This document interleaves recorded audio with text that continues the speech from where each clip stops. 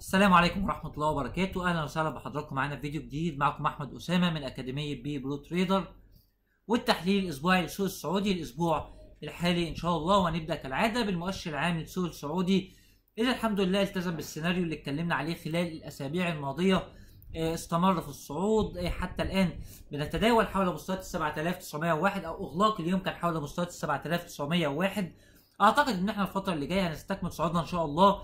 حتى مناطق العرض الممتدة بين مستويات ال 7940 حتى مستويات ال 8040 تقريبا. وأعتقد دي المستويات اللي هنشهد منها تصحيح هابط للسوق السعودي خلال الفترة القادمة إن شاء الله بعد رالي صاعد عنيف خلال الفترة الماضية.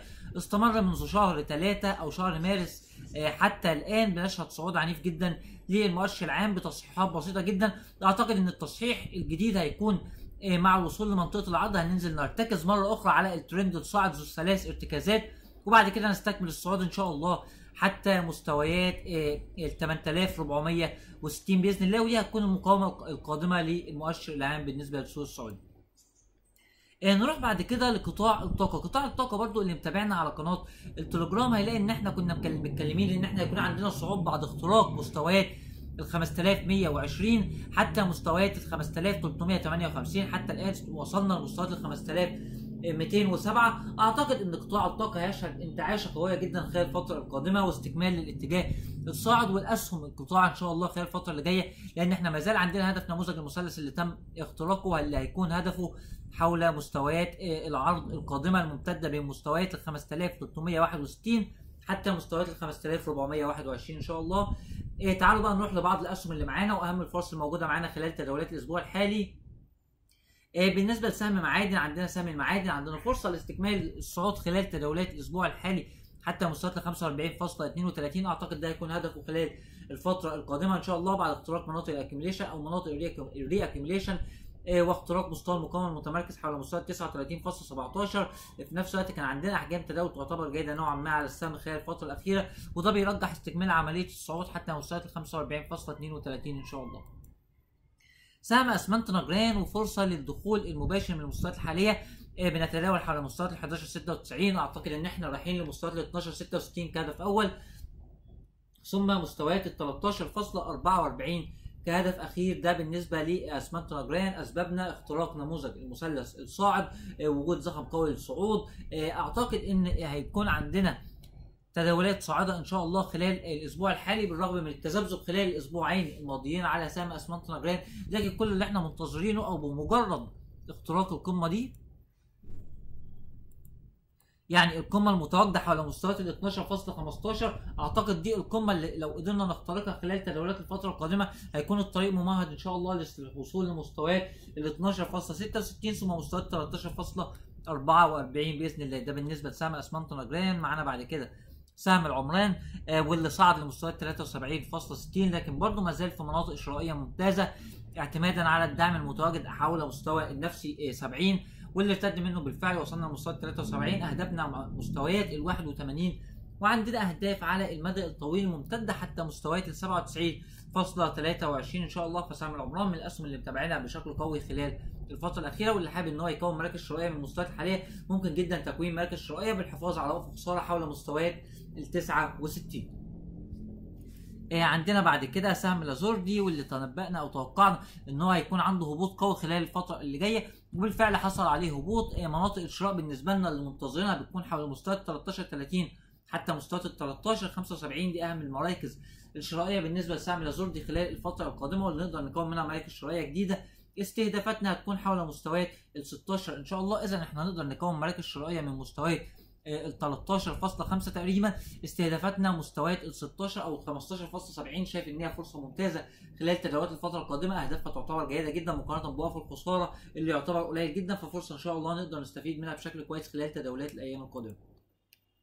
نفس الفكرة بالنسبة لوقت اللياقة، وقت اللياقة من الأسهم اللي كانت موجودة معانا أو نوينا عليها خلال الأسبوع اللي فات وبننوع عليها مرة أخرى خلال تداولات الأسبوع الحالي.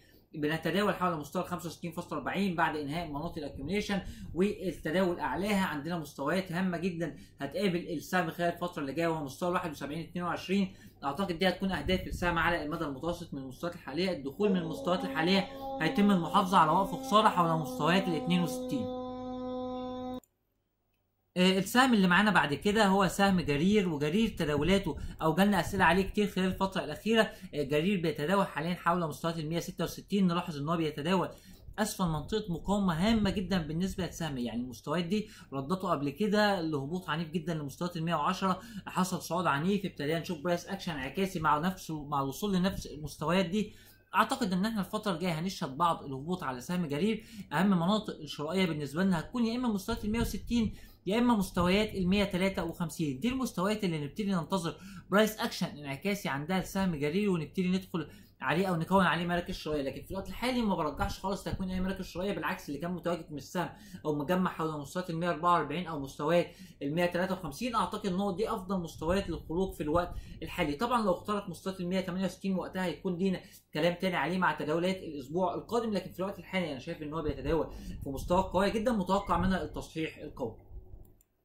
آه، من ضمن برضه الحاجات اللي هنتكلم عليها قطاع البنوك. قطاع البنوك من القطاعات اللي اتسالنا عليها قطاع البنوك وصل لمستويات عرض قوية جدا ممتده بين مستويات ال 7061 حتى مستويات ال 7266 دي تعتبر أقوى مستويات عرض بتقابل قطاع البنوك في الوقت الحالي في نفس الوقت تعتبر الحد العلوي للقناة السعرية الصاعدة اللي بيتداول فيها قطاع البنوك فوارد جدا إن إحنا نبتدي نشرب بعض التصحيح الهابط للارتكاز على الحد السفلي للقناة السعرية الصاعدة ثم استكمال عملية الهبوط نتيجة لأن بيواجهنا منطقة مقاومة قوية في الوقت الحالي. آه، سهم متجري في التأمين وتداولات حول ال 24.62 بعد اختراق القمة المتواجدة حول ال 24 34 آه، وقعدت اختبارها في الوقت الحالي فرصة لبداية تكوين مراكز شرائية من المستويات الحالية. مع الحفاظ على وقف خساره هيكون مستويات ال 24.11 إن شاء الله الفترة اللي جاية استهدافاتنا هتكون مستوى ال 28.03 فرصة للدخول مباشر على سهم متجرف من المستويات الحالية.